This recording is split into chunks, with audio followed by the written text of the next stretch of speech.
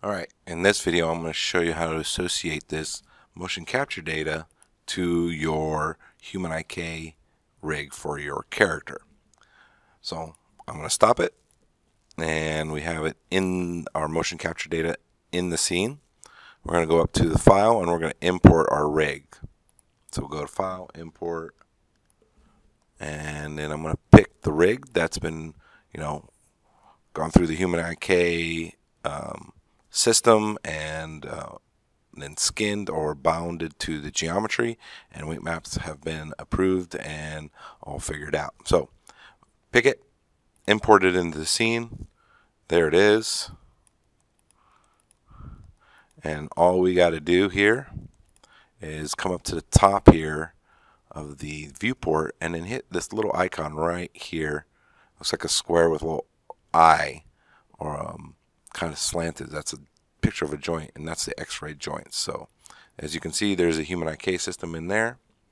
And what we're going to do is we're going to come over to the human IK box again. Make sure it's turned on by this little icon up here at the top. That looks like a little doll. And we're going to go to character, and we're going to pick the actual rig name. So that's the Teo Skelly rig. Click on that. And then we're going to go to source underneath that and then we're going to pick whatever we had named that animation uh, that we did before, which was have the, the mocap data. So this has all that mocap data that we associated uh, from the last video to the human IK. So pick that and dance, and then it automatically moves that over. And then you can hit play just to double check it. Looks like it's working just fine on that transfer. We're going to hit stop here. And then what's happening now is that we have to actually go through here and physically transfer. Right now it's just a temporary um, protocol to transfer the animation from one IK system to the other. So we want to actually bake this down. So what we're going to do is go to the blue box here in the human IK system and we're going to go to bake and we're going to bake it to the skeleton. So we're doing the transfer. Maya actually has to go through the whole thing to actually transfer it. So sometimes it goes fast, sometimes it goes slow.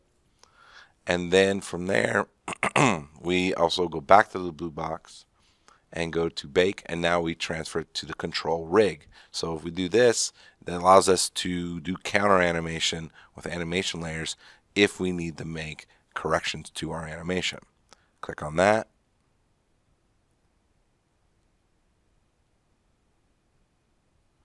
And then there's the human IK system in it. Once that animation has been transferred to that rig, we can get rid of our reference. So right here in the outliner, so again, if you don't see the outliner, it's right here on the side. Click on reference and just delete it and it's done.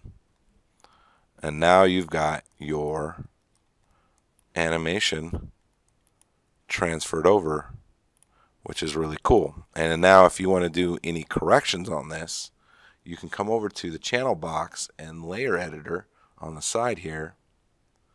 And we'll just move this up a little bit higher. And I'm going to move this over a little bit.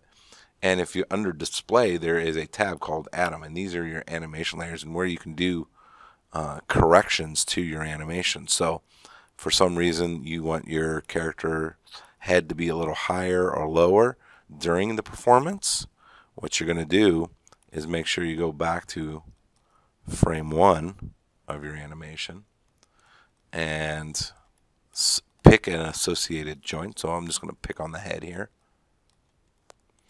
And once that head's selected, come over to the animation layer and you can see there's base animation. This is where all the animation is on all the joints is on this layer. You can see if I when I click on anything on here, you can see all the frames of the mocap data on it. And this is what we call animations on ones. And that's just how mocap uh, works. So what I'm going to do is I'm going to select that joint and I'm going to go to this little icon right here. It says create layer from selected. Click on that and since I'm going to do a head correction, I want to always rename it. Click on it and then call it what it's going to correct. So head correction. Make sure it's always one word. Uh, Maya doesn't like spaces when it comes to display layers and animation layers. So hit enter.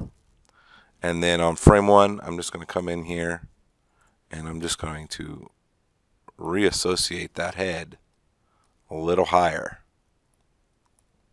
And then I'm going to press the S key, or you can come up to the top and go to animation and go to key and press set keys. You can see this is the S key. And once you do that, now that animation for the head is a little higher, as you can see right here.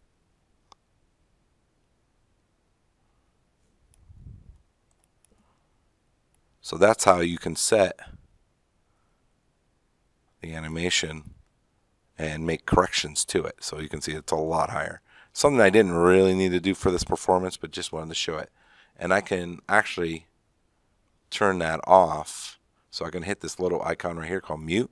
You can see that change that I am doing to this animation with this with this uh, animation layer, and it's great. So if you feel like your arms are are not moving correctly or they're passing through the body, you can use this to self-correct that. And it's a really easy way of doing that. Once you've gotten several corrections, if you need them, again, you don't have to do them if your performance is great. I would, you know, stick to about, you know, if you're doing about five different corrections to merge that animation down to the base animation layer. To do that, all you need to do is hold the shift key, select all the animation layers you want to combine together, right click, and then say merge layers. And again, this might take, you know, a minute or two to calculate.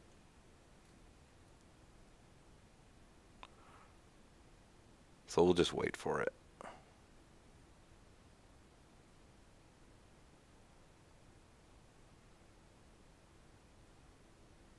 that roughly took about 20 seconds to do, and now that correction has been applied. Now, now again, it's not something I would do for this particular performance.